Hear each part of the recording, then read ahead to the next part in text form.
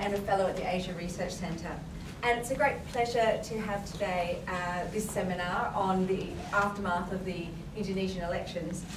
Um, and I want to give everyone a great welcome here to Murdoch today, uh, both those who, here, who, are here physically and our virtual audience um, over at ANU who you can see over there. So a great big wave. They can't see you, but, but, they can see us. so we're, yeah, we're having we're having a uh, after, in the wake of our digital Indonesia uh, uh, conference last year. We're we're embracing digital digital Indonesia ourselves.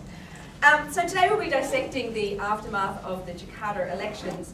Um, and it's been framed by some as Indonesia's own referendum on the liberal in liberal democracy, as we've seen in elections in established uh, democracies worldwide.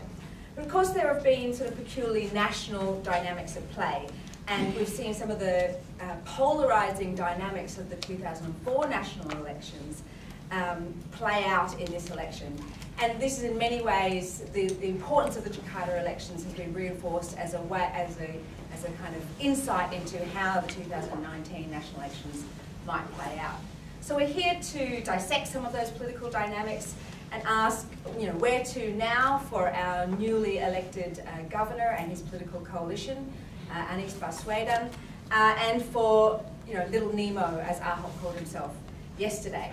Um, before we kick off, I just want to uh, give a great thank you to the Director of the Asia Research Centre, Gary Rodan, and Sia Kozlowski, who have done a lot of work to put this seminar together today, and for our collaborators over at the Indonesia Research Project, um, Pak Budi and Ibu uh, Nuken who have also um, invested a lot of time and energy um, into bringing this um, seminar together today. So we want to say thank you very much to our friends at the ANU for that. Um, now to our speakers, and fortunately we have two scholars who have been following this election with absolute um, undying scrutiny. Uh, Murdoch, doc, Murdoch's Dr. Ian Wilson and Associate Professor um, Marcus Mietzner from the ANU. Uh, Dr. Ian Wilson is a lecturer in security, terrorism and counterterrorism and a fellow here at the Asia Research Centre, where his work focuses on Indonesian politics through the prism of urban politics and violence. Uh, he published a book last year with Routledge on the politics of protection rackets. Associate Professor Marcus Mietzner um, is from the, Asia, the ANU College of the Asian Pacific, where he's published widely on the political role of the Indonesian military and Indonesian political parties. Uh, Marcus publishes lots and lots of books, and his most recent being an edited volume on the SBY presidency. Um, today we're going to run uh, a little bit differently from other seminars. Our two speakers will speak for 10 to 15 minutes, uh, and then we'll go uh, to questions. Uh, but at 11 o'clock, uh, we're also going to have, take some questions from our ANU audience. So uh, let's turn now to Associate Professor Marcus Mietzner for an overview of these elections. Okay, thank you very much, Jackie, and let me just say how honored I am to share this stage with Ian, with whom I've had uh, a lot of discussions, very productive discussions uh, over the last few weeks. Uh, these discussions are not only, and that's the really interesting part about this, are not only about the Jakarta elections. You know, they are, and they are representing uh, a number of major conceptual, methodological, and theoretical um, approaches to the study of Indonesian politics. There's, for instance, a debate about what kind of data do we use. You know, use of survey data versus ethnography and sociology. There's the question of class-based analysis versus a broader uh, approach, large N studies versus small N studies, and so forth. There's all kinds of really interesting conceptual uh, problems involved here, and I'm sure you'll see this playing out today as well. Now, I've decided uh, to structure my brief introduction around some of the key debates that I see emerging um, over the last few days, especially since the election um, was completed last, last week. Uh, so let me start with a methodological note. Um, you will see me using a lot of survey data, and so this brings us to the first major conceptual debate uh, between scholars on the Jakarta election, and that is that precise uh, use of survey data, and in particular the question whether survey uh, institutes missed the amount of dissatisfaction with Jokowi by claiming that there was widespread uh, support for his performance as governor. Uh, put it the other way, uh, did they overestimate, did they exaggerate the extent of satisfaction uh, with uh, Ahok's performance as uh, governor?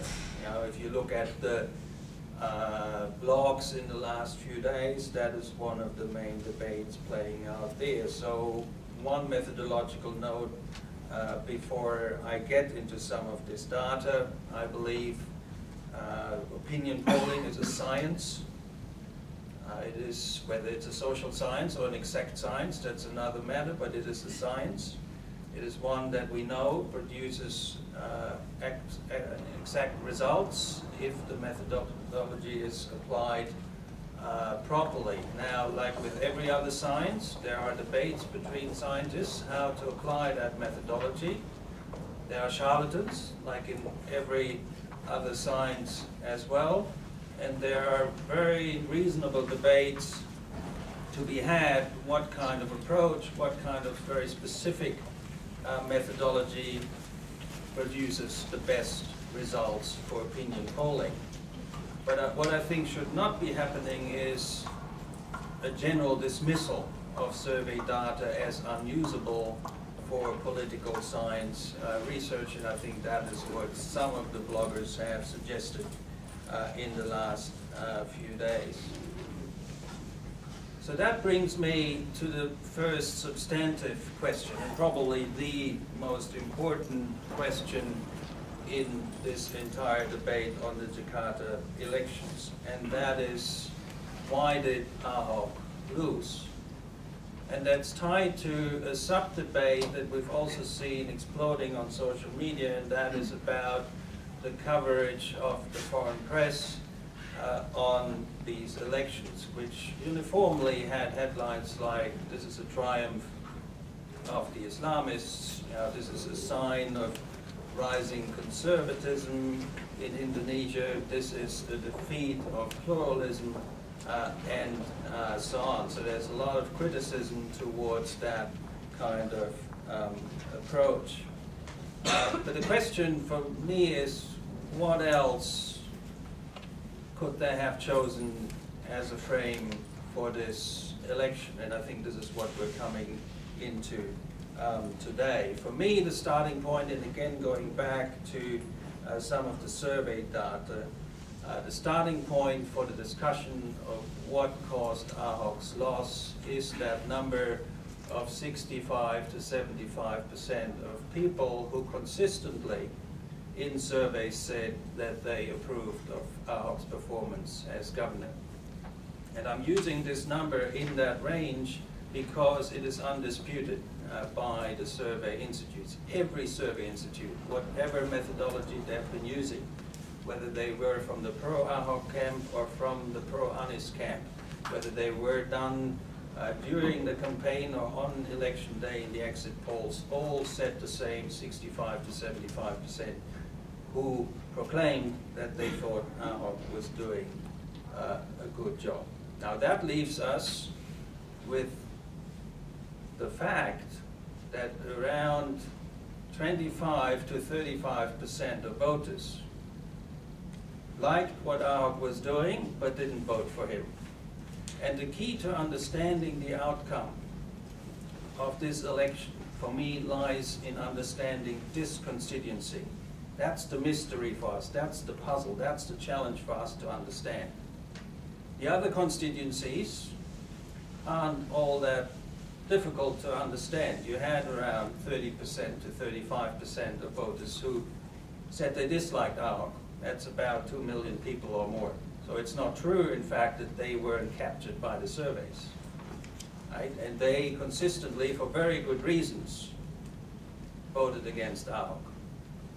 That's not the major challenge for us to understand. We also have the 41% who liked Ahok and voted for him. Also not very difficult to understand. But for us, the analytical challenge here are those people who said, liked him, thought he was a good governor, liked what was happening to Jakarta in the last uh, three years, still didn't vote for him.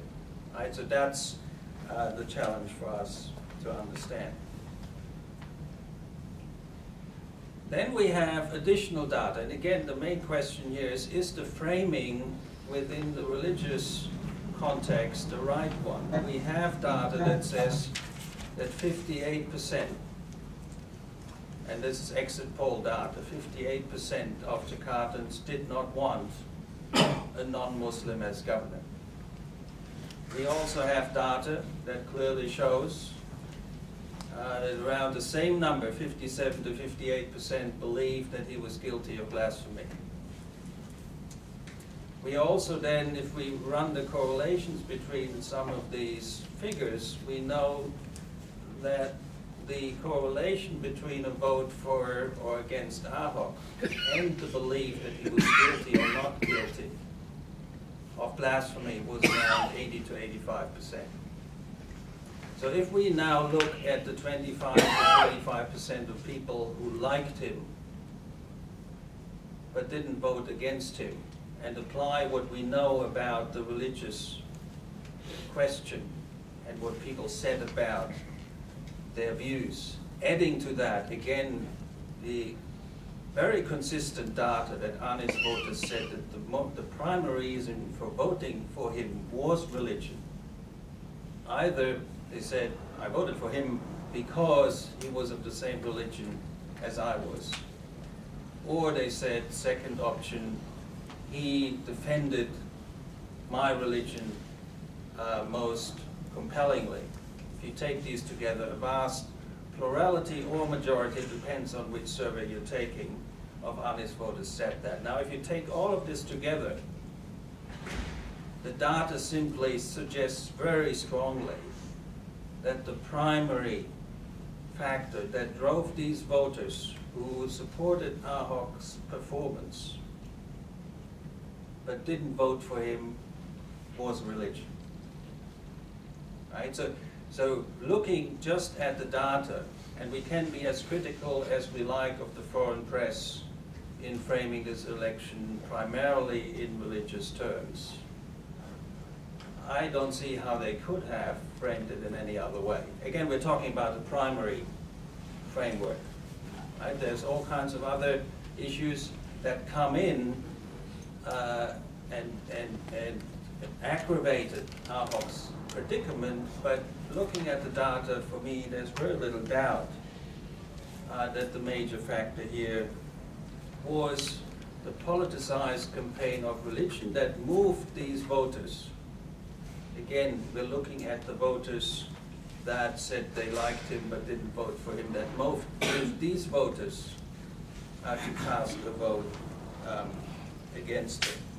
Now, one of the things that, and again, there's so much we still don't know, and there's still so much we can do with some of this uh, survey data that's available. What I would like to look at, and that hasn't been done yet because I don't have the access to the raw data, but looking at the exit poll data of those people who said they didn't want a non-Muslim as governor, I would like to look at that and pull out the ones who actually said they were satisfied with his performance.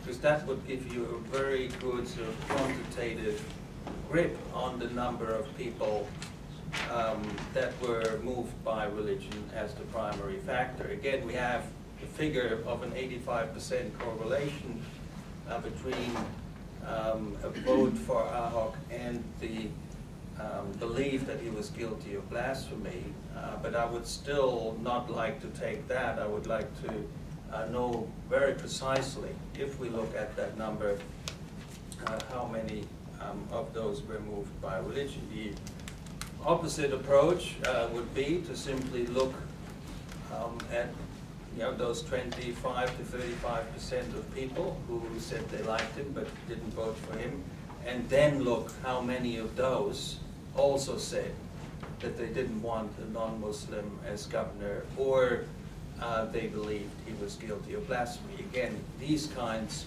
of uh, approaches would give us, I think, some uh, pretty good, uh, pretty good uh, numbers. Now, the second major debate here, and that's been uh, very uh, fiercely carried out on social media over the last few days, is this issue of whether the politicization of religion was carried out by both camps in equal measure. Now that's a claim now made, uh, interestingly, uh, particularly from um, some uh, Chi ethnic Chinese activists, um, ethnic Chinese scholars um, who have taken a critical stance on Ahok uh, for quite some time, uh, and now say, uh, well, politicization of religion happened, but it happened on both sides. Now the tone for this was actually set uh, by Tempo magazine in its edition, uh, in the last edition before the elections, where basically they said the same thing. Uh, religion was politicized, but it was politicized uh, equally by both sides. Now this is a claim I found analytically and empirically difficult to comprehend. If we look at dimensions, yeah, of course there was politicization on both sides, that's not the question. The question is what were the dimensions of this politicization of religion?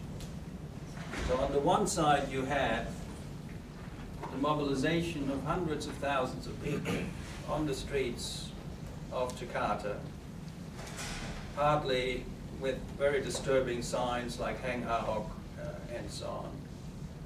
You had a very systematic campaign of exerting pressure on law enforcement agencies to criminalize Ahok over his remarks on uh, Al-Maidah 51. You had a massive, massive social media campaign. Um, and if you looked at that very closely, again, very disturbing, uh, very clear and deep ethnic undertones suggesting that Ahok should run for governor in Taipei or somewhere else, but uh, not uh, in Jakarta. That was one of the more friendly postings uh, you, would, you would find. You had the systematic use of Jakarta's mosques for spreading the message that whoever uh, voted for Ahok was uh, not a good Muslim because uh, not so much because he was a non-Muslim, but because he was guilty of blasphemy. Now that label of Penista Agama stuck until uh, the very end. And you had, you know, all these groups that we know a lot about and, and, and Ian uh, knows the most about, uh, driving a very systematic campaign throughout the kampungs um, against uh, Ahok with the argument, which of course FPI had run since 2014 that you know non-Muslims shouldn't be governor and so on, and it demonstrated at the time didn't really go anywhere because the normal population wasn't as interested in that as they were in the accusation of blasphemy. Uh, but they, from the very beginning, clearly didn't want a non-Muslim as governor, and they drove that campaign very clearly. So that's the dimension on the one side of the equation. Now, what do we have on the other side in terms of politicization of, uh, of religion? And there we have a video uh, which very clearly backfired. Uh, in hindsight, we know that it uh, was a bad idea to try to throw this issue back on the other side and instead say, well, if you fall for these arguments of politicizing religion, then you are voting against pluralism. Again, we can all agree it was probably a bad idea at the end of the campaign. Uh, but I don't see much else in terms of strong evidence, and especially if you compare it to the dimensions of politicization of religion on the other side, that would make for a fair comparison, comparison in that uh, politicization. So finally, uh, what does this all mean for Indonesian democracy and especially for 2019 and uh, the national elections?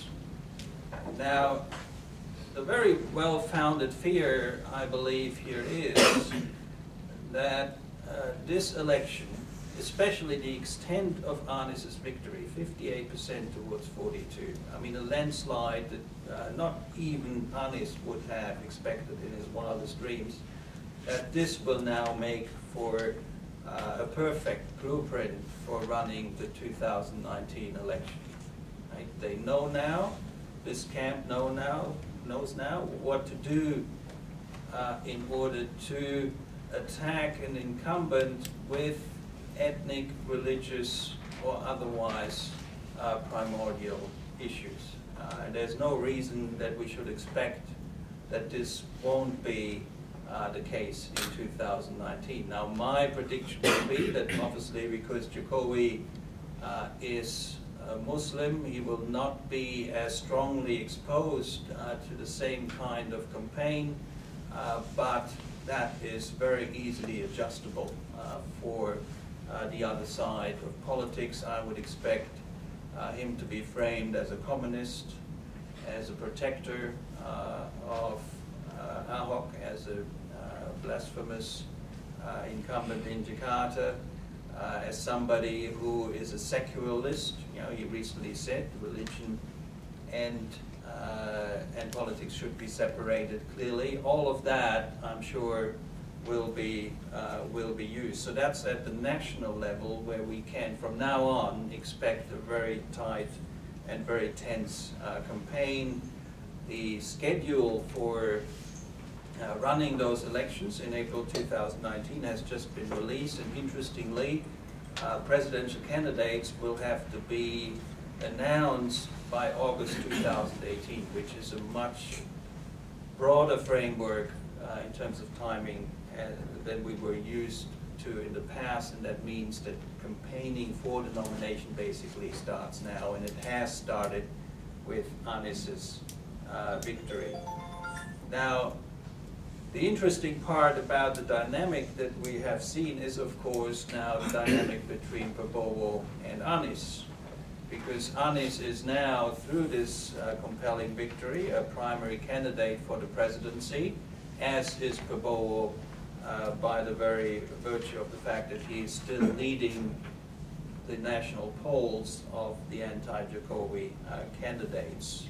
Uh, so we should and can probably expect a very interesting um, discussion between Prabowo and Anies as well about who is most suited uh, to run against Jokowi, but whatever campaign and whoever is running, uh, I would predict it will be a very ugly one and uglier than 2014. Thank you very much.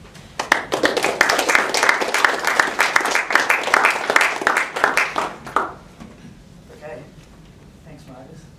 Um, my take on this is slightly different. In, in some respects, the elections were something that just happened, and I've been doing other work in Jakarta for some time uh, on two fronts. The first was looking at uh, religious and ethnic militias, such as the Front Pembela Islam, the Defenders of Islam Front, who became sort of moved to the centre in the campaign against Ahok over the last few months. Uh, the other work I've been doing is uh, on urban poor politics and sort of looking at the ways in which uh, poor, uh, working class and lower middle class uh, neighbourhoods in Jakarta think politically uh, and act politically. And so some of the things I wanted to sort of reflect on today are, are coming from that perspective.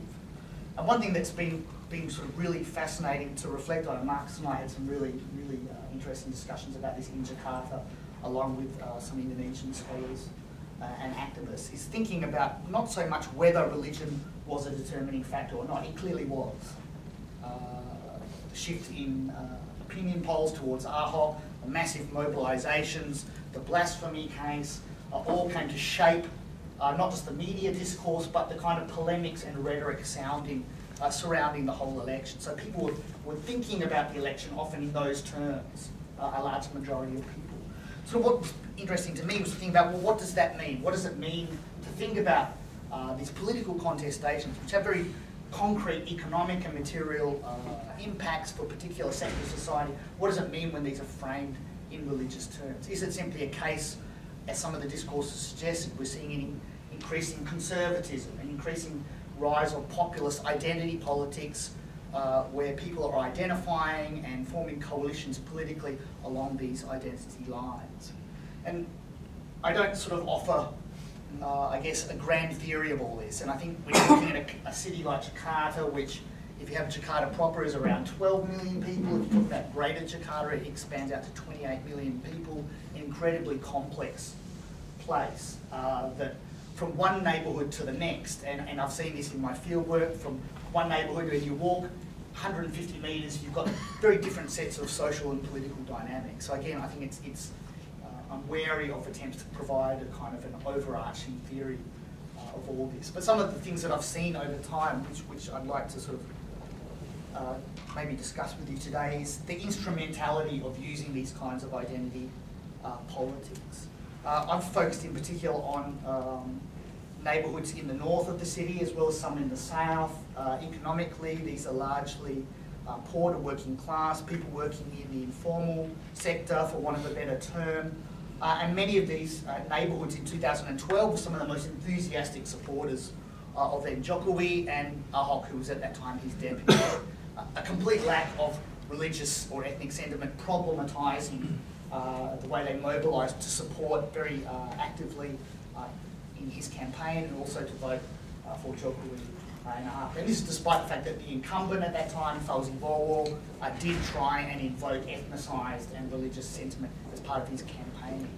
So there was at that time, certainly in these neighbourhoods, a sense that these would be uh, Jokowi in particular, but Ahok to a, a lesser extent constituted politicians who would have a new kind of engagement with uh, poorer uh, segments of, of Jakarta uh, who'd felt, uh, certainly uh, over previous governors, that they'd been marginalised, they were only partial citizens, partial recognitions of their rights, living in a constant state of insecurity economically and in terms of their place within the city. So you saw many of them uh, voting enthusiastically at that time. And again, emphasising the point that religion wasn't a factor at this time.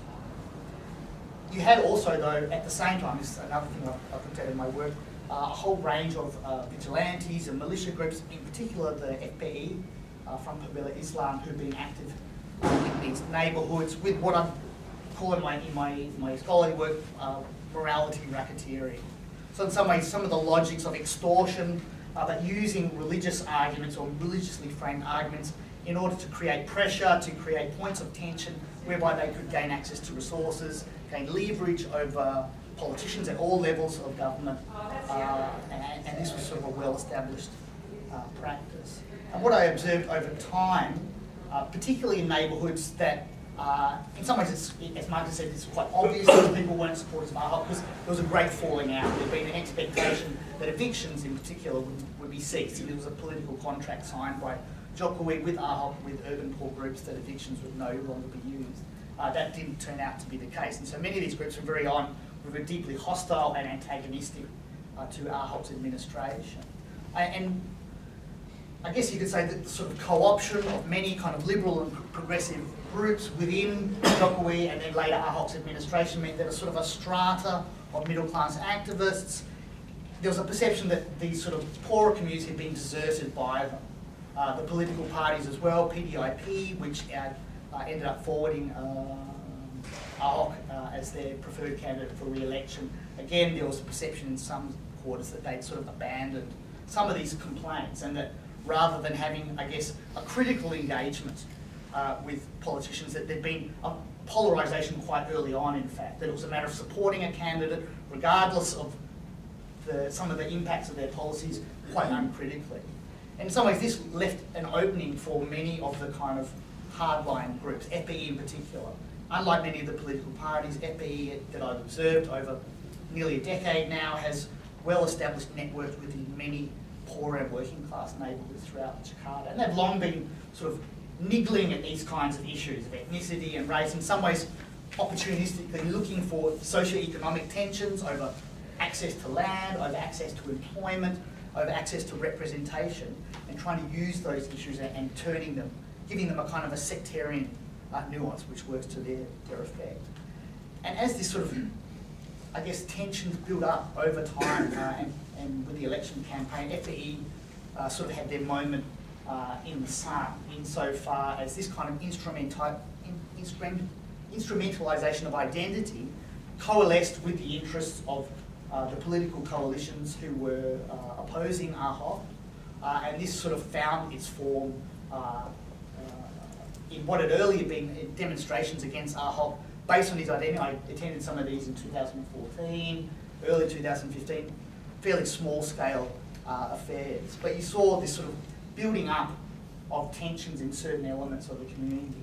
I mean, one thing that still remains a bit of a mystery to me is why so many lower middle class and then middle class Jakartans ended up joining in this kind of discourse uh, as well. There's an argument that materially they didn't have the same sets of grievances that poor working class people did, many of whom uh, were disappointed with Ahok. Of course, there are others who weren't, and this again comes down to the complexities of Jakarta in socio-spatial terms. Can be very different sets of circumstances from one neighbourhood to the next, and, and perceptions vary greatly, which makes in some ways the difficulty of formulating a kind of a, a grand theory uh, of explaining this. I tried to sort of speculate a couple of things I've written recently to think about why these kind of groups were attracted to this sectarian framing of the elections and were mobilised politically and it seems in the end electorally uh, along these lines. And again, this is quite speculative. I don't have access to a lot of the data and it would be very interesting, as Marcus has said, to see why some of these people uh, shifted. Uh, it seems their voting, despite having uh, in general satisfaction with Ahok for his performance, uh, to vote against him, it seems largely on religious grounds. And in thinking about that, I couldn't help but reflect on some you know, other things that have happened in the world, in particular some of the observations of the right, of, of populist right-wing uh, coalitions, the invocations of identities in ways that from maybe from our perspective are arguably contrary to people's material economic interests and how this has become such a very powerful mobilising force. So on one level, while segments of Jakarta were clearly satisfied with the performance of Ahok in a managerial sense, there'd been minor inroads, depending again on who you were and where you live in the city, in terms of uh, infrastructural problems of flooding, uh, of uh, traffic congestion, etc. But whether that in and of itself was a sufficient reason for people to be engaged politically uh, with Ahok. And it seems in many, in many respects that there's, I think there's a kind of a, a, a broader set of kind of dissatisfactions uh, with orientations to economic development in Indonesia, growing wage inequality, uh, that may seem, uh, I guess, not find a, a rational political voice. That some of these kind of more uh, emotive uh, appeals to people, these pitches to people on, on, identities, really struck a chord. That it was only very much later in the day, certainly that Ahok's campaign, they very much focused on performance. He'd been competent, he'd made these uh, policy achievements. And while on one level, okay, a lot of people could agree with that, certain sectors of course not, that this wasn't really working. That there was something deeper uh, and more emotive that, that was really uh, appealing to people uh, at this time. I guess the blasphemy case in particular, in some ways, I know in the communities where I've been spending time where some were kind of had mixed feelings. Uh, they thought that Ahok was relatively competent, but there were other things that deeply unsettled them about him, in particular his, his manner of communicating. Uh, and in some ways this was reflective of, I think, of deeper sets of relations where uh, his way of speaking about many uh, working class communities was often seen as, as not just rude and impolite in terms of, of those cultures, but reflecting a particular kind of style of leadership that people had hoped would change. It was authoritarian, it was very often very paternalistic and patronising, and was perceived as very patronising, compared, and people would constantly compare this with Jokowi, who in some ways had the same kind of policies. He didn't make good on his, uh, his political contract to not engage in evictions, but his manner of communicating with people was seen as respecting them uh, and engaging in a kind of dialogue where they felt that they were being recognised as citizens uh, who had rights uh, and should be respected. And Ahok was seen as the contrary to that. And in some respects, when it came to the blasphemy case, a whole range of constituents who may have otherwise have mobilised to defend him, or at the very least to counter these mobilisations by Islamists, funded as it was by political coalitions, uh, had already been alienated entirely in that respect. These included a whole range of urban poor groups who have networks throughout the city. It includes some NGOs. He was very vocal early on in how human rights was an impediment to development in Jakarta. Again, a very new orderish kind of statement that, again, offsided a number of groups who otherwise would have been sympathetic to his broader uh, agenda. And there are also key identity uh, networks that he also alienated. Bamus Betawi, which is a, a, a kind of a uh, Badan Musyawarah Betawi. It's a body for Betawi organisations. Betawi uh, often identifies as the indigenous or ethnic group of Jakarta. Very early on, he'd off-sided them by withdrawing funding to them and basically implying that it was uh, a corrupt organisation. There's probably elements of truth to that, but nonetheless, they immediately turned into a hostile political vehicle. And they, and they have a, a large representation throughout the city. So you saw these different sets of dynamics uh, at play where identity had degrees of instrumentality to it, not just for elites, who quite cynically, I think, captured onto the blasphemy issue and the identity issue, but also for other groups who'd been had a whole range of complaints, but felt that there was no other set of avenue for them to pursue the PDIP in particular. I've heard this so many times over the last few months. Many neighbours would say the PDIP sucks. They deserted us. They have this rhetoric of being for the small people. They're interested in elite games, uh, and they've sort of lost a grassroots level of support. And many of that's been sucked up, if not by Islamists, or Islamists working in conjunction with the coalition of parties such as Gerindra from Prabowo, etc., who very much targeted these kinds of areas in that sort of way. Um, I might just leave it at that, and, and we can have some discussion.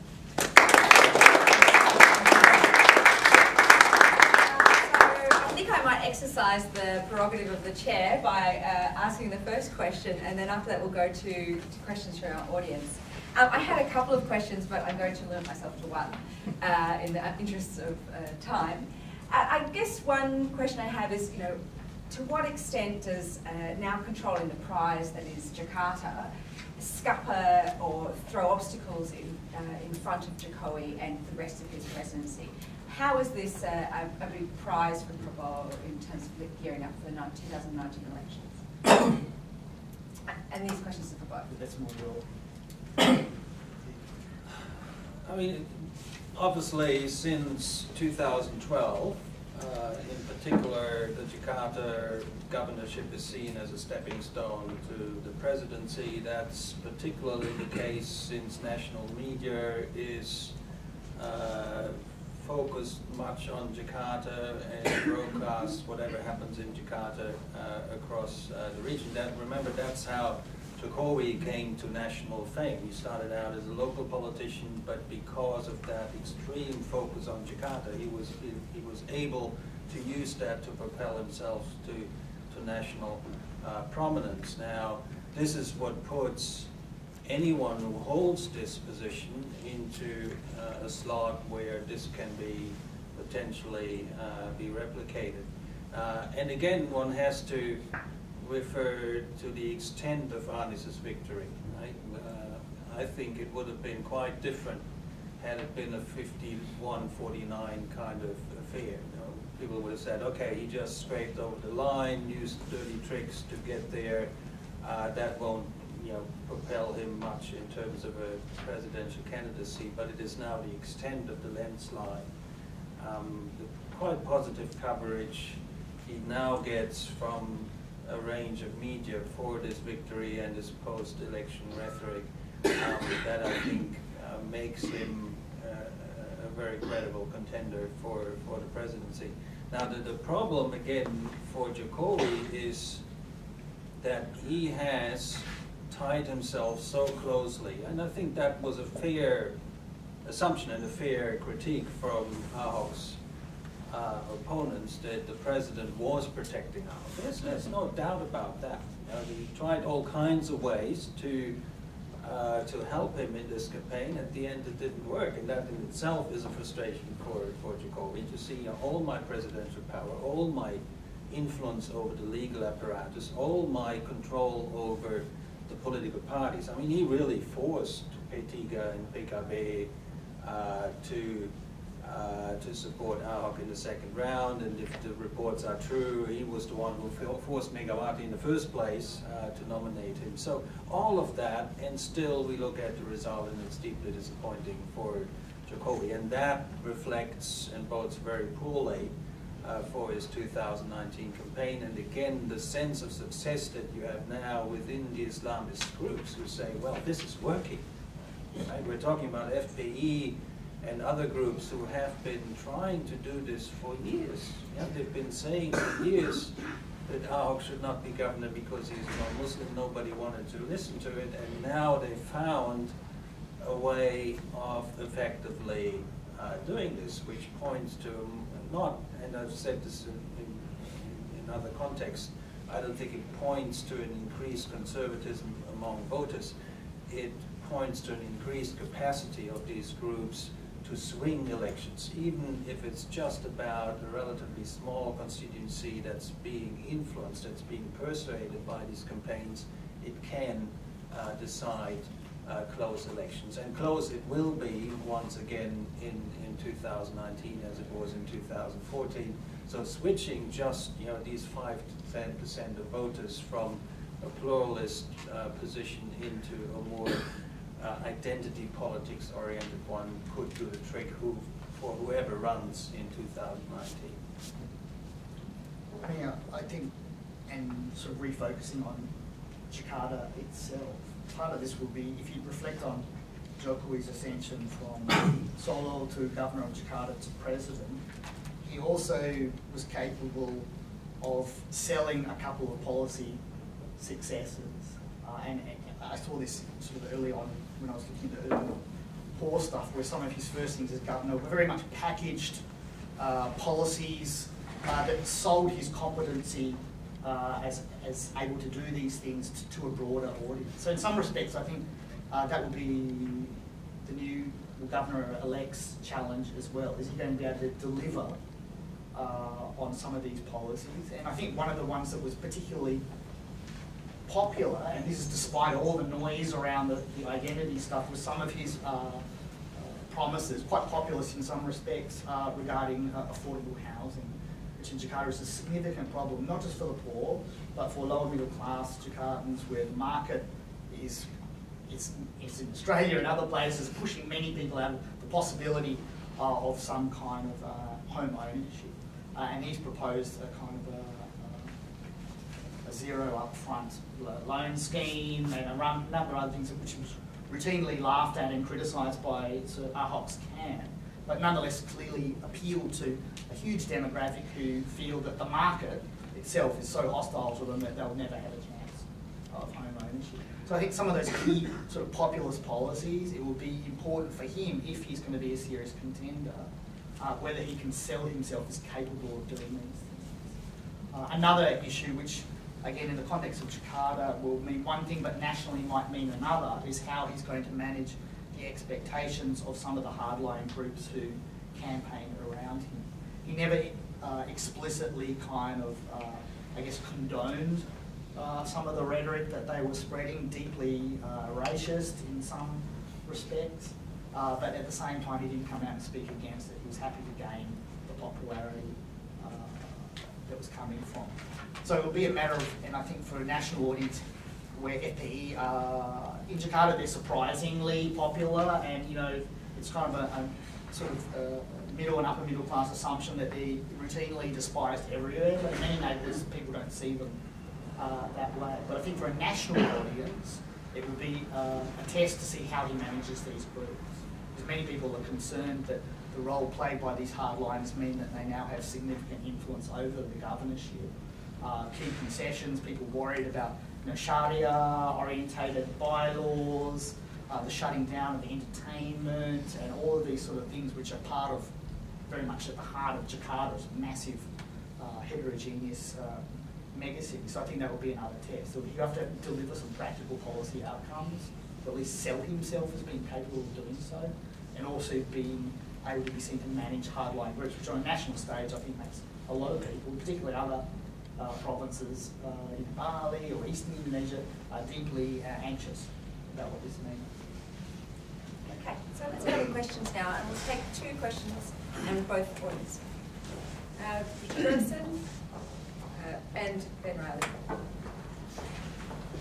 Okay, um, you know, that was very, very interesting talk, and I think it, it has raised the seminal, the seminal problems that we have to confront if we're to understand really what's happening. You know, I mean, I believe that we can progress towards, and we have to progress towards some general statement about what's going on, rather than a series of unconnected empirical observations. And in that sense, I'm a bit sceptical of surveys and, and how they are often fed into analysis. Now, uh, Marcus, you said that by, by taking those people who said they approved of the way Ahok was ruling, but voted against him, you know, and, and with other data on religion, you could, you could bring out the point that the decisive factor was religion. Now, I think what we have to ask is, you, you can't just take religion itself. It has to be set into the sorts of political context that Ian was talking about. Let us suppose, for example, that Ahok's opponent in the election was a, a, a radical FPI candidate or, or sprouting a sort of ISIS line or even an ISIS candidate. Would, would Ahok have similarly been defeated by that candidate just because of religion? Well, I don't think so. And the reason I don't think so is because religion comes with a whole package of, a whole contextual package. And the people who voted it, uh, you, we must assume that a lot of the people who voted against Ahok didn't expect, expected that the, that, uh, you know, a, a governor coming in uh, with Islamic credentials wasn't going to do the same sorts of things that an FPI candidate or an ISIS candidate would do. So, I, and, and I think that, I, well, I've got it in, another few points, but I won't. But I think that we have to be very careful of taking religion out of its context and just saying, well, religion counts.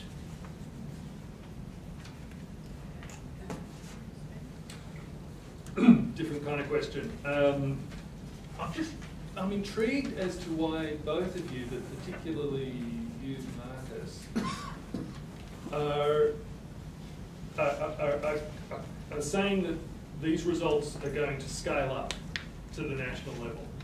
For the, you know, that, that what's happened in Jakarta is, is, is, is scalable because, you know, last time I looked, you got really very regionalised patterns of support for different parties, including the Islamist parties.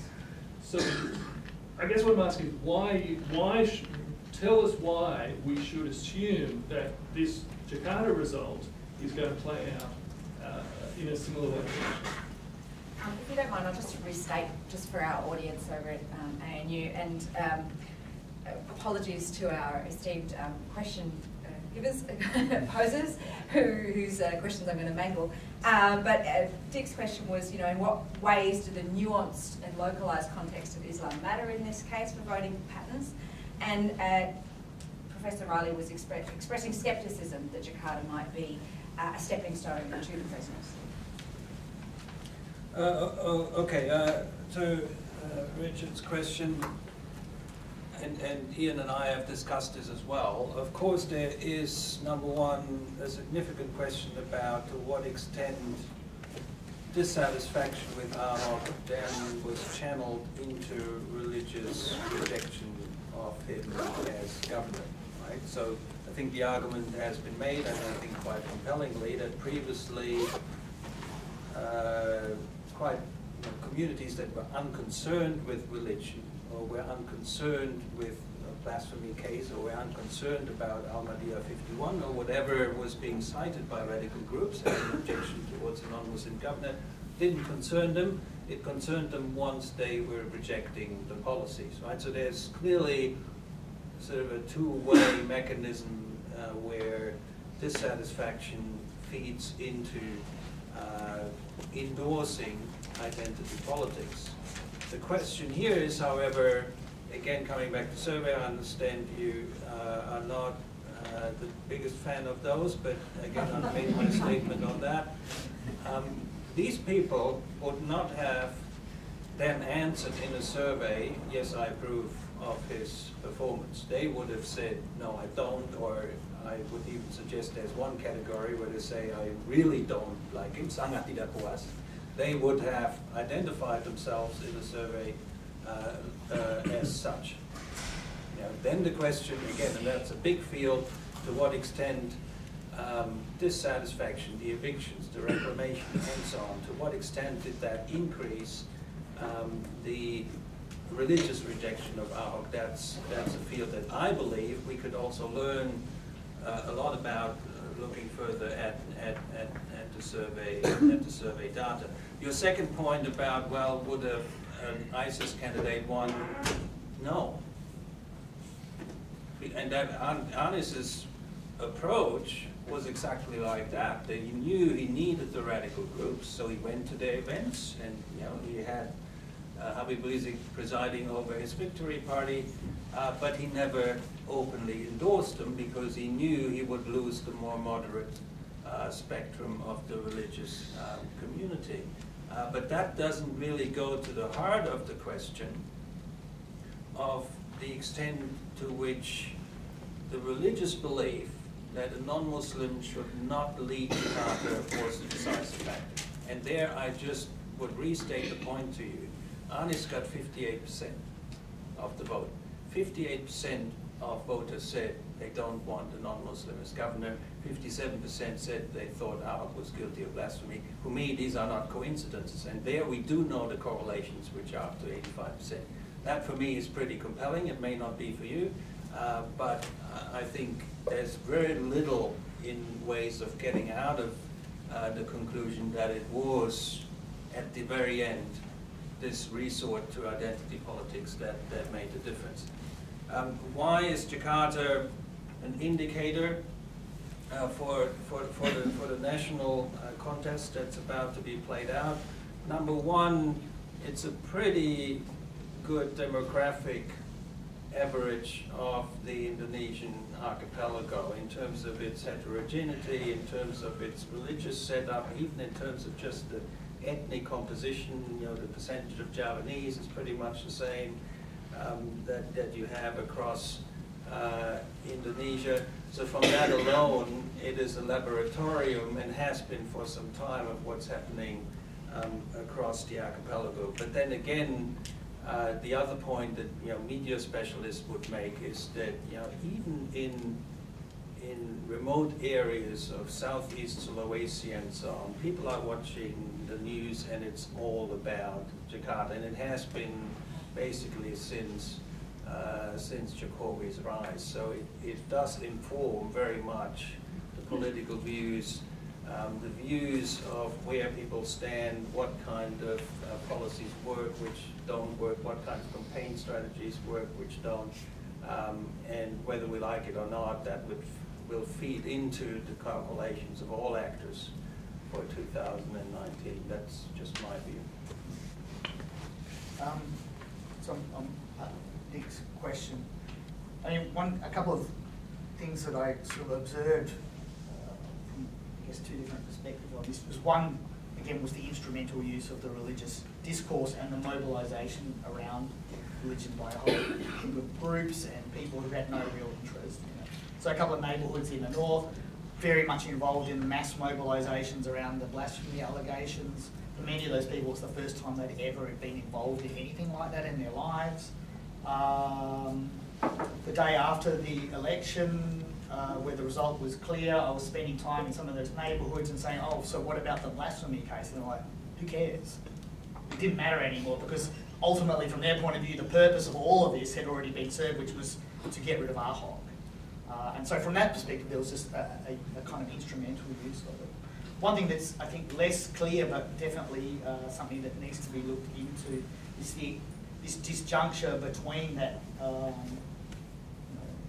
apparent sort of satisfaction with Ahok's performance and the fact that larger groups of people didn't vote for him. I mean, on one level, you can explain it by saying, okay, uh, there's increasing kind of conservatism and this sort of identification, people can vote uh, along those lines. But if you sort of interrogate some of the discourses that you saw coming out of sermons, coming out of all the social media stuff, I was signed up to some of these uh, WhatsApp groups, which are really significant sources. In some cases, almost the sole source that people have for information, conspiratorial stuff in particular. And the Islamic identity was intertwined with discourses that uh, included racialized critiques of neoliberal capitalism, that it was you know, we see anti-Semitic neo-Nazi stuff, it's all run by the Jewish bankers. Well, in this case, it was all run by Chinese capitalists, of, of whom Ahok was their champion. And so you had, in some ways, broader sets of dissatisfactions with the nature of things being channeled through this kind of discourse. So people might have been very satisfied with the fact there'd been minor reductions in traffic, flooding, and uh, bureaucratic administration but that doesn't necessarily mean that uh, they weren't more compelled by some of these broader discourses that intertwined uh, Islamic identity, but also more populist kind of rhetorics uh, about the state of the world. Uh, and so if you look at, okay, you can say it's about religion, but looking at how this was framed and discussed uh, is, was really interesting in that respect, and it was more than just that. Many of these religious discourses were very critical of democracy, uh, that liberal democracy was this Western imposition. And this, there's been a, a, grassroots movement in Jakarta and elsewhere in the country for nearly a decade now that's been opposed to pluralism and liberalism uh, as decadent, as inherently anti-Indonesian, and also anti-Islamic. And so, Asian values debate 20 years ago was in, exactly in some ways, yeah, but now it's being mobilised by a kind of a far-right Islamist frame. So I think when we're talking about religion, yes, but what that means I think touches on a whole range of broader issues that need to be interrogated. Um, as for the scalability of Jakarta, I'm pretty much in agreement with Marcus that you know Jakarta is the kind of the stage uh, for these political dramas, and people throughout the country pay immense attention. I know from friends in East Indonesia were riveted by all of this because they see, uh, as non-Muslim Indonesians, they felt a lot was at stake. Uh, whether that's the case or not remains to be seen, but there certainly is a perception in many parts of the country that's, that's what Jakarta means. Um, it's 11 o'clock, and so I'm going to invite our ANU audience to pose two questions facilitated by, the, um, by Ibu Nuka over at ANU Project. Uh, so just bear with us, we haven't tried this yet.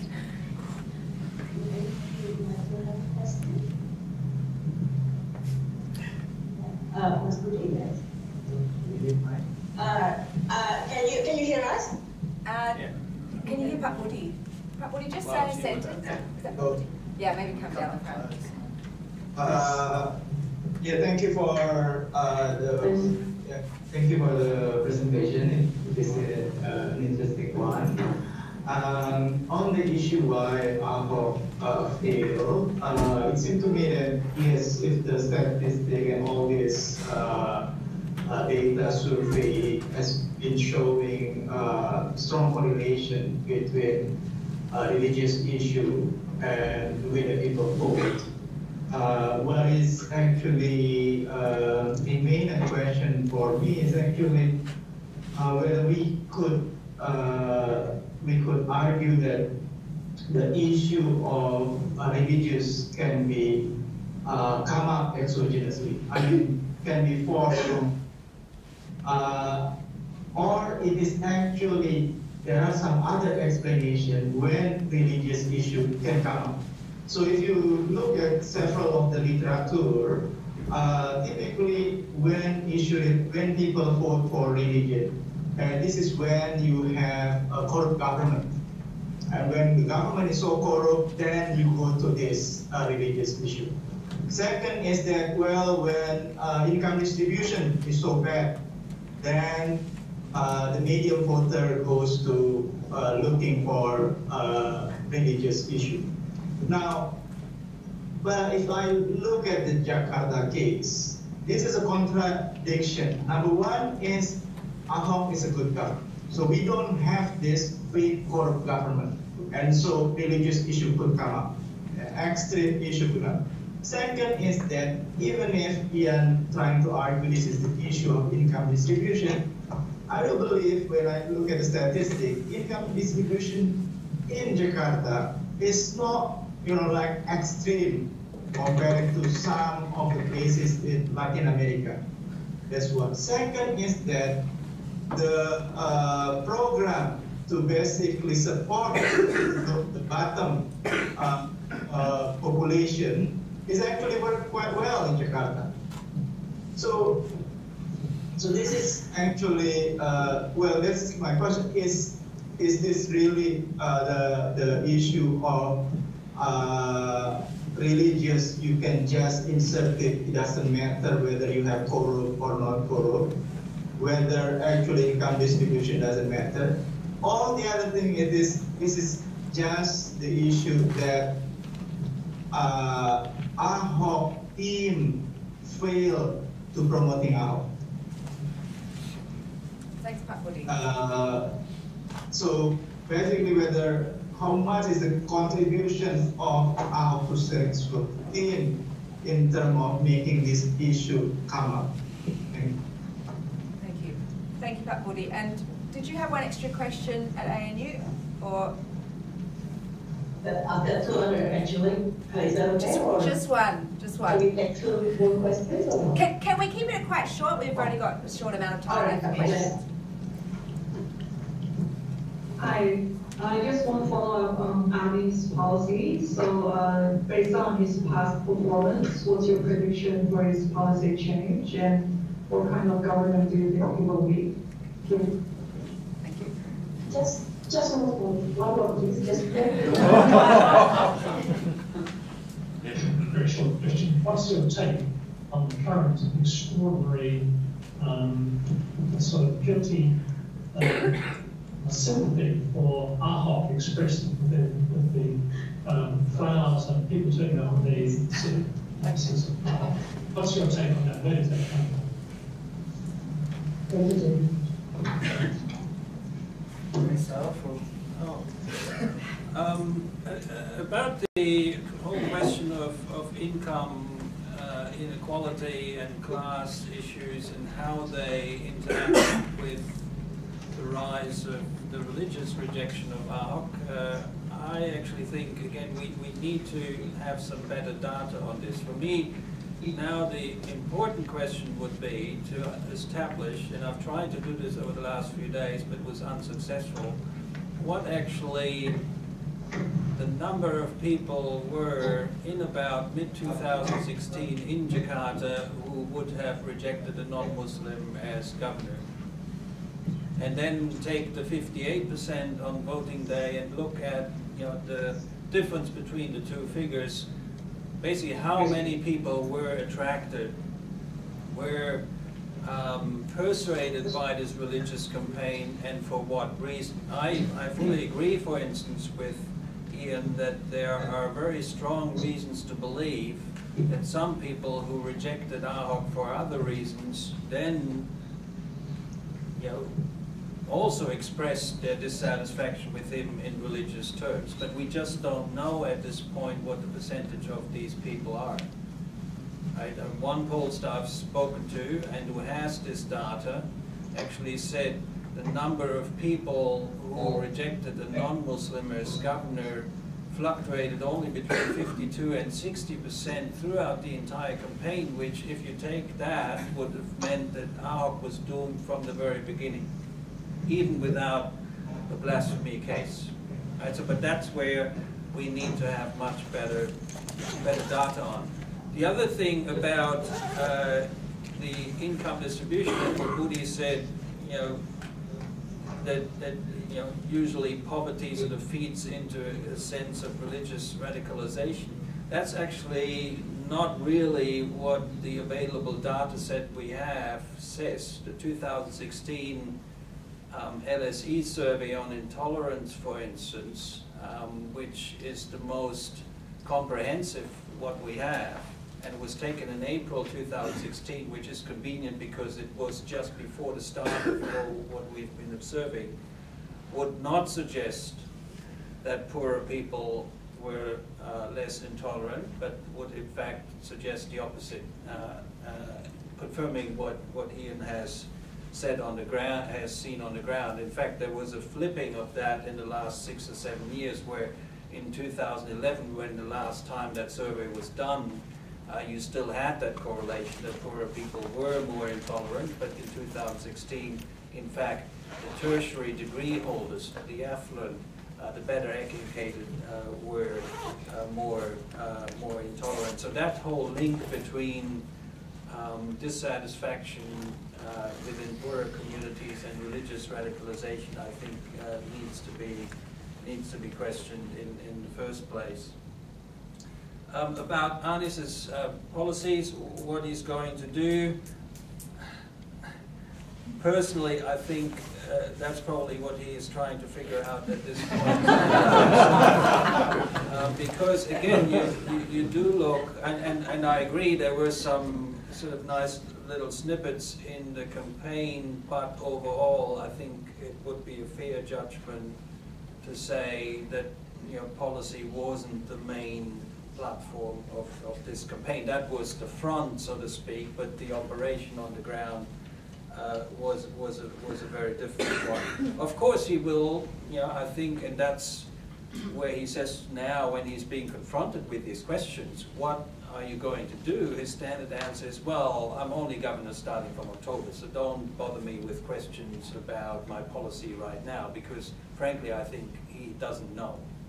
And uh, for the housing affordability question, for instance, that will be one of these tests. You know, that's why people say, well, that's what I liked about your platform, so please deliver on that. And uh, I can just say good luck uh, with a 0% deposit to convince people. I mean, some, some of the conglomerates are jumping on the chance to work with the new government and say, well, maybe we can talk about this.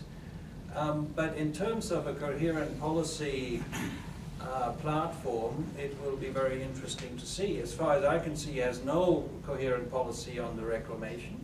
Yeah, he was switching back and forth between saying, well, I reject it, but then when he was pushed on it, he said, well, we may keep the ones that are already there, and I never said I rejected it, but I said we'll use them for different purposes. So very clearly he was making it up as, as, as he went along.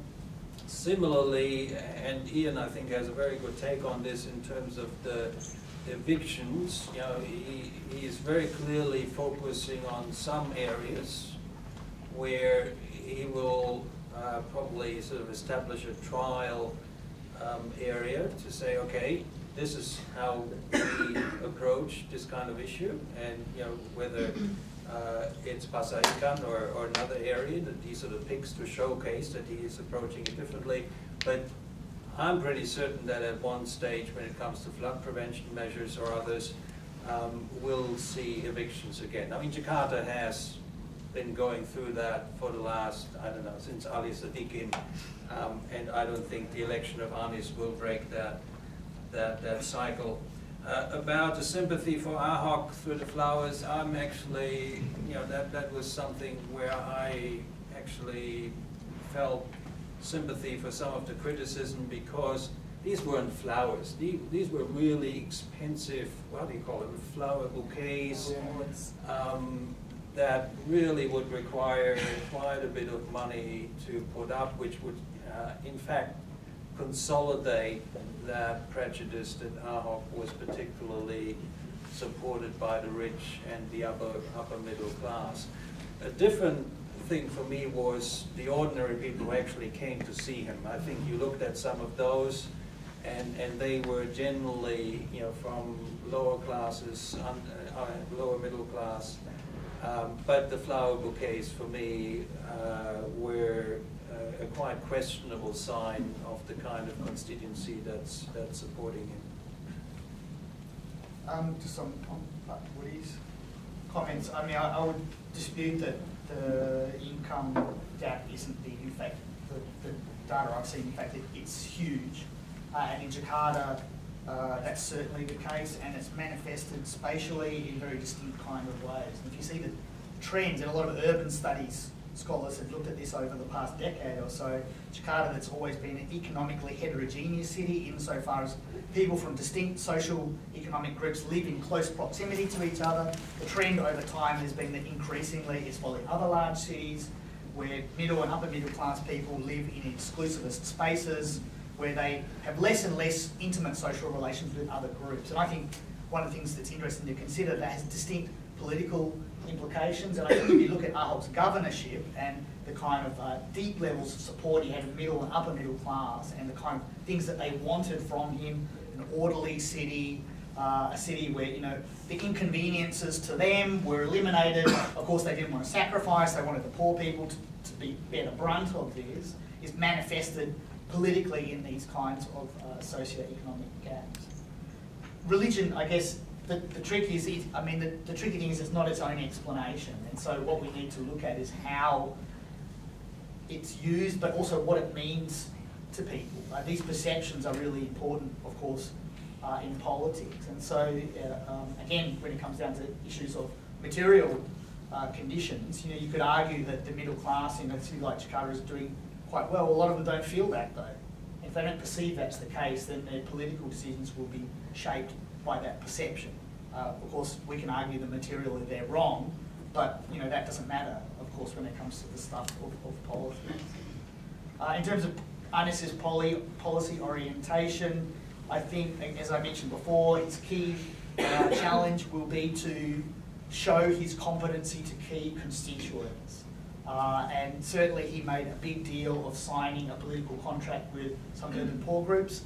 The contract was word for word the same with the one that the same group signed with Jokowi in 2012, and they're well aware that this is a, a risk, but you know they felt that with Ahok, certainly his, his fondness for evictions, that uh, they had no choice. But he's already made overtures. I know just I noted just yesterday that he visited some of these neighbourhoods. Uh, he was embracing some of their alternative planning models, and my guess would be the same way that Jokowi made sort of set examples that he used to sell himself He'll pitch to certain constituents, uh, give these kind of ideal model cases in certain parts of the city, but for the most part it'll probably be business as usual. I mean, the, one of the, the, sort of key uh, questions that's been debated, particularly by uh, urban poor activists and, and their supporters, is why Jokowi seemed to abandon his political promises to those groups very early on. There are those who are of the view that he was basically manipulating them and there are those with the view that he had good intentions, but when he came to the realities of power in a city like Jakarta with developers, uh, the monetization of any available space at all is so intense that basically he, he just wasn't able to do this. And again, this is going to be the same uh, pressures that face Anies in regards to the rhetoric. So I think he'll choose very specific examples uh, and then hope that that will be, get him enough political capital with key constituents to keep moving on. Uh, with the reclamation in particular, I mean, he was openly opposed to it. Uh, of course, that will set him on course for his first direct conflict with the national administration. Uh, the former coordinating minister for maritime affairs, Rizal Ramli, uh, opposed reclamation and was removed from his office almost immediately by Jokowi. This is a project that the national government wants to be completed. Uh, and so the political tussle, uh, I think he's toing and froing is when he gets a sense of the kind of conflicts that he's going to be coming into. uh, the flowers stuff, I, I, I, agree with Marcus. I looked at some of the banners and, and, and you know, the people coming in and people genuinely emotional, those who really felt, you know, really uh, felt endeared to Ahok and his efforts and, and a, a, perception that, you know, he really sacrificed a lot his job, particularly the blasphemy charges, but the reefs, I mean, they're expensive things. It wasn't kind of like, you know, your average poor working class Jakartan bringing a, thing of flowers. And, and I noticed because I'm from my work, I'm hooked into all the anti-Ahok networks on social media. They made a big deal out of the rainstorm that came through last night and blew a lot of them over. Which, of course, with the religious framing, of course, this was a sign uh, of what you know the Greater Council really thought of all this. So again, these perceptions uh, are very, very still remain pretty polarised in that. Okay, uh, I can just take two more questions from from our audience. Yes. Uh, I just wonder why, um, uh, because there's uh, fear that um, hardline uh, Muslim ideology was polarizing in Indonesia right now, and then the racial and religious sentiments was quietly uh, used massively, especially in the uh, pilkada or election. So uh, I just wonder why government or Jokowi now just seem like that let let it uh, let it like that, that one flourishing, the radical Muslim or something. Uh, is it like a, um, is like his way to secure his position for 2019 election, or just he just his tactic to uh, looking for the hardline organization that will be come up and then the targeting to um, I mean to makar or coup d'etat, coup d'etat his government, her governance because. I might, uh, um, I might just cut yeah. you off there if you can, just because we've only got 10 more minutes, I'd like to take another question. Yeah, so just, just wonder, uh, in, in front of uh, the panelists, what's your view about this one? Why Jokowi Why is just Jokowi allowing, like, why is Jokowi allowing political Islam to Yeah. flourish? Yeah. Uh, a second question? Yes. Uh, yes, to address the question. Um, what do you both make of um, Hary Tanoe's alliance with uh, with Prabowo and effectively Anies? Okay, uh, and that question was about um, Hary Tanoe's uh, alliance with Prabowo and Anies. Okay, sure. Um, I mean, in terms of the hardline groups, I mean, on one level, this is something, you know, the president can't just control this thing. These are movements uh, that are being both instrumentally used by his political opponents, and this is, the overtures to groups like FPI is not new. It's been going on for some time. If you look over to Yudhoyono's presidency, the Democrats, many of them were saying, you know, the FPI is a partner, uh, that they, you know, they're a great organisation, etc. So, and Prabowo said this as well. So for a long time, they've fostered these groups because they have a use value to them. Um, whether they'll, you know, uh, my uh, things I've written in the past show that you know that the interests of many elites with uh, groups like the FPI is not because they're switching to hardline Islam, but they see the utilitarian value of this framing of Islam as an ideological counter to moves towards, say, more liberal forms of democracy. So, is not, you know, Islam. I mean, he called Amien Rais the Ayatollah the other day, like the ultimate gaff, when you've got all these hardline groups that are vehemently opposed to Shia uh, Islam. So there's kind of instrumentality, I think, to it. That and he's kind of in Jokowi in some ways sort of flipped and flopped. The Makar cases, Makar meaning treason, and there are a number of people who were involved in organisation in, in mobilising against Ahok who were placed on charges of treason. I can observe from certainly, you know, my, my time amongst those groups opposed to Ahok, this was all seen as confirmation, basically, of I think it was a, a political blunder. These were kind of political nobodies. Ratna Sarumpaet, which some people might be uh, familiar with. Sri Bintang Pamungkas, uh, political has-been.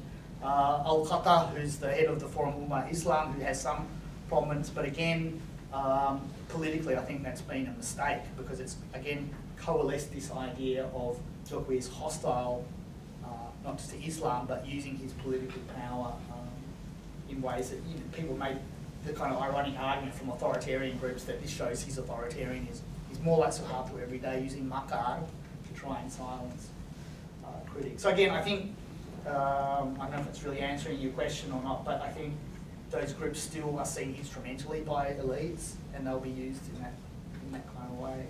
As for Hary Tanoe, I mean, Hary Tanoe's, again, in some ways confirms that point where you see uh, a ethnic Chinese billionaire who's not just a business partner, partner of Trump, but a vocal supporter of Trump, aligning himself with a coalition that's arguably come to power on the back of racialized attacks against an ethnic Chinese governor and also critiquing him on his religious grounds. The FPI uh, and others were very incredibly conspicuously silent on Hary Tanoe's very open endorsement of Anies. In some ways, to me, that's the classic example of the instrumentality of these, the uses of these identities. They don't care because he's useful to them. He's got a lot of money that he'll pump into it when other sources have kind of dried up a bit, including uh, Prabowo's brother.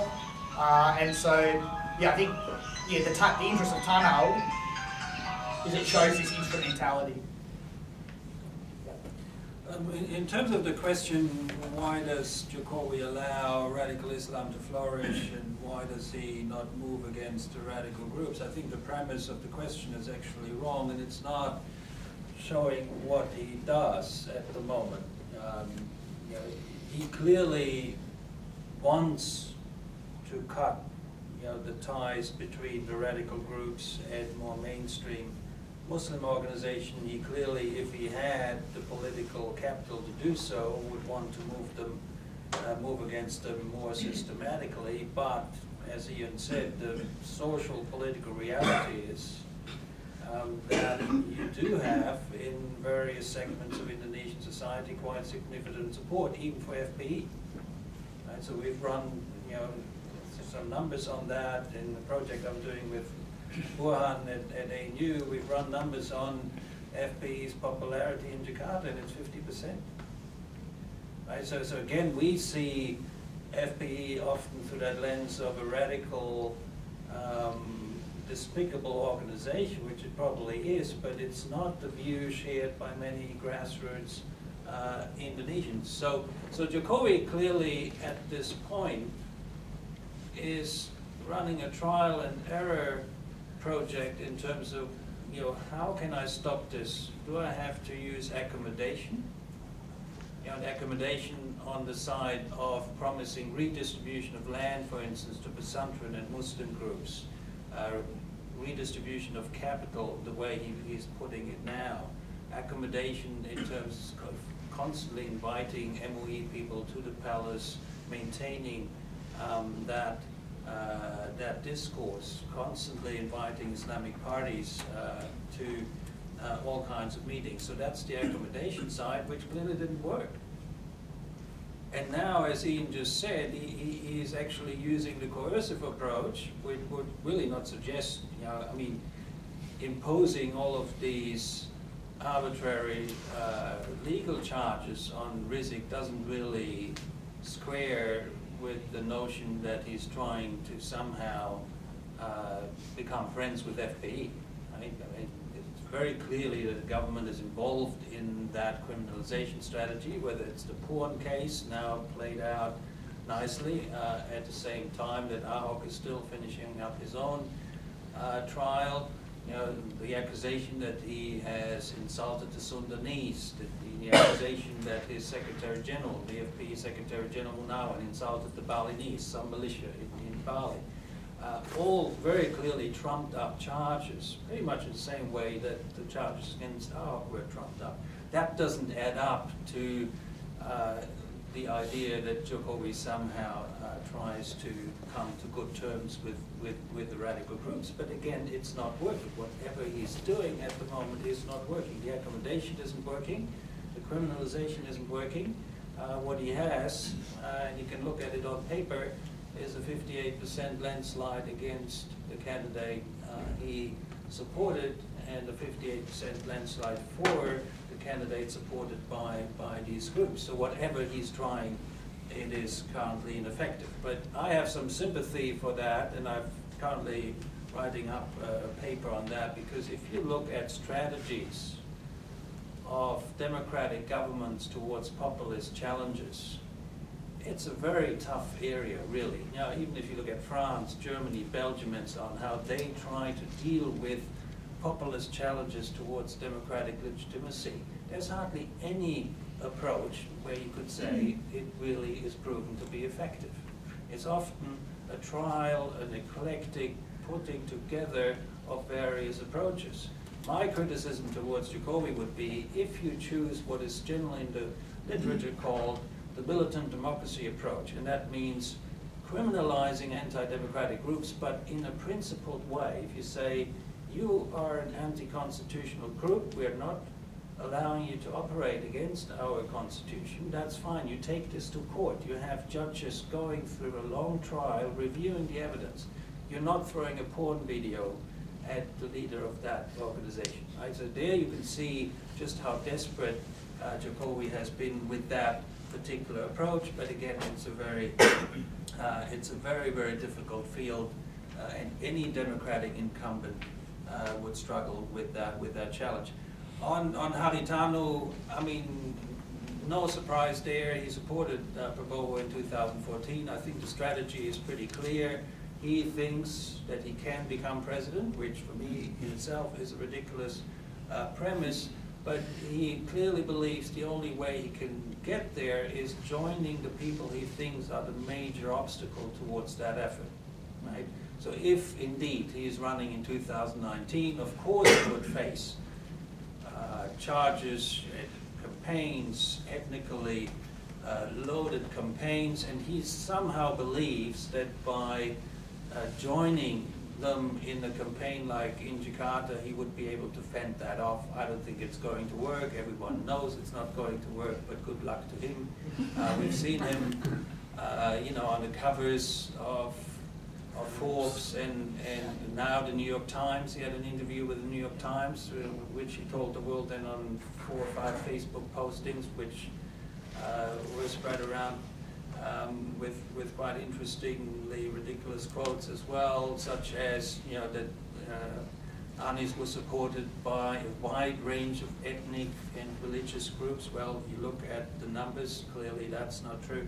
So, uh, Hary Tanoe for me is not a political factor I would take seriously. He will be a footnote in what's coming for 2019.